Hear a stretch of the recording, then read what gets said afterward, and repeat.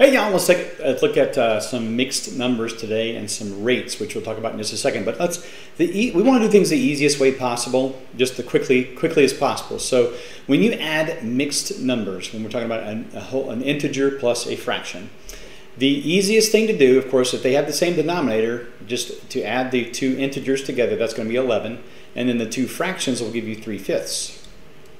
All right. Now, if you don't have uh, the same denominators, you're going to have to figure out a common denominator.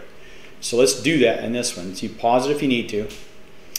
Okay, well, let's find out the common denominator. Obviously, that is an 8. So we'll have 2 and 6 eighths plus 3 and, well, that stays the same, 1 eighth, plus 7 and 4 eighths. Okay, let's get the 2 and the 3 and the 7 together as integers. That will give us 2 plus 3 is 5 plus 7 is 12. Give me the integer. Now let's get the eighths together. 6 eighths plus 1 eighth is 7 eighths. 7 eighths plus 4 eighths is 11 eighths. Okay? Now 11 divided by 8, if we were to put that as a mixed number, that would just leave the 12 there. And we would go ahead and that's the same thing as adding 1 and 3 eighths, right? Okay, so that would be 13 and 3 eighths. Okay. Now another way to do this if you want to, you can take this and go, okay, let me just delete this here. You can make this into an improper fraction, each one of these if you'd like to. So we have 4 times 2 is uh, 8 plus 3 is 11 fourths, plus, that's going to be 24 25 eighths, plus 7 and 1 half will be 14 plus 1, 15 halves. Okay? If you want to go ahead, we need to go ahead and get these all in as a common denominator. So that's going to be 8. We already know that. So 8 there times 11 times 2 would be 22 plus 25 plus, uh, 2 times 4 is 8 and then 16 times 4 is 60. So we have 22 plus 25 is 47 plus 60 is 107 over 8. Okay, so let's look at 8 going into 107. 8 into 10 is 1. There is 2 left over. 8 into 27 is 3. There is going to be 3 left over, so that's 13 and 3 eighths, just what we said a second ago. Now, that's sometimes easier to do, up to you, whichever one you think is easier. However, if you see something like this, I don't think I would sit there and go, oh, I'm going to find out 3 times 528 plus 1 and then make that a, and then, you know, ugh, forget that. I would just get these two integers together, add those together, and keep them over there somewhere. Then I would take a third and add that to 3 fourths. Of course, the common denominator would be 12.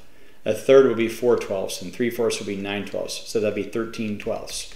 Or 1 and a twelfth. And whatever you got when you added these two numbers together, you add 1 to it and then add a twelfth, and you got the answer. That's the way I do it. Okay. All right, let's look at rate. Ratios are basically a comparison of two numbers. That's it.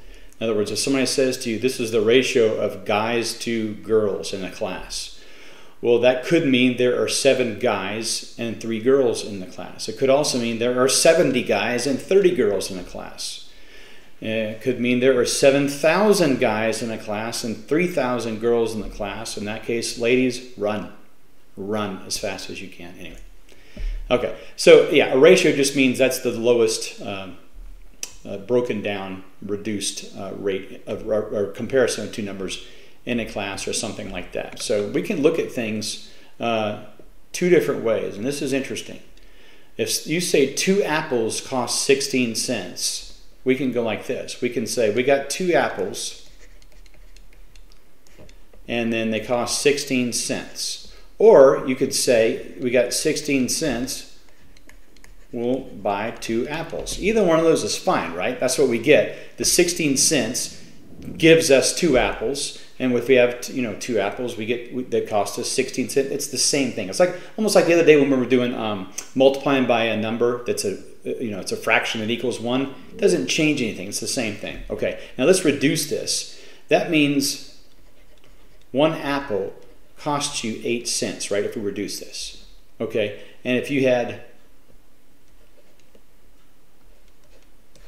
8 cents, okay, we'll call it like that. Almost like One apple is eight cents. So one cent would be like an eighth of an apple. Okay. All right. Okay. Let's take a look at a problem like this. Ralph bought six Chick-fil-A registered trademark sandwiches for $42. What was the rate in dollars per sandwich? Okay, we can do a rate there. Dollars and then sandwich. Okay, well, let's see, it was $42 and we got six sandwiches, right? So we can reduce that. 42 divided by 6 is 7. So $7 for one sandwich, right? Sandwiches per dollar? Well, we could kind of reverse it, couldn't we? We did six sandwiches for $42. Sandwiches per $1? We'd, we'd reduce that again. And we can almost go like this. For one sandwich, or for how much of a sandwich would you get for one dollar? You would get one seventh of a sandwich for a dollar. That's all. And that's what ratio, ratio and rates we're talking about today. Okay. Go to page 113, give those a whirl and see what you do. Pause it and try A. Okay, I think the easiest way probably to do A is to just find a common denominator, which is 10, and add those two. So 2 and 3 make 5. 1 fifth is the same thing as 2 tenths, plus 1 tenth is 3 tenths. Piece of cake. Okay. This one, go ahead and pause it and try B. But if you don't know, I would, again, I would not, you know, I wouldn't do anything except for get these two numbers together and then do the fractions. So go ahead. Okay, if you do the numbers together, you get 784. Now, these two fractions, 2 fifths and 3 fourths, obviously the uh, common denominator is 20. So you get 8 twentieths plus 15 twentieths, that's 23 twentieths. This is the same thing as 1 and 3 twentieths. So we're going to add that 1 here to give us 785 and 3 twentieths. There we go. Okay. All right. Oops. Let's see. Is there another one? Let's pause it. Oh, yeah. C and D. Go ahead and pause it and try C. Okay. The For C, Roger could travel 48 yards in 6 seconds what was his rate in yards per second, and what was his rate in seconds per yard. If he goes 48 yards in six seconds, he goes eight yards per second. That's his rate. And his rate in seconds per yard, that's only one eighth of a second it takes him to go one yard. Okay, so pause it and try D. All right, eight apples can be purchased for $2. So we have eight apples for $2. All right, rate of apples per dollar and rate of dollars per apple. Well, eight apples can be purchased for $2. Let me, let me reduce that. That's four apples for $1. So per dollar, uh, you get four apples. And for an apple per dollar, it's uh, dollars per apple is one fourth of a dollar per apple. So there you go. All right, that's rate and ratio. See you guys next time. Have a great day and uh, do, do, do a good job of your math today. Get at least 25 right today. See you.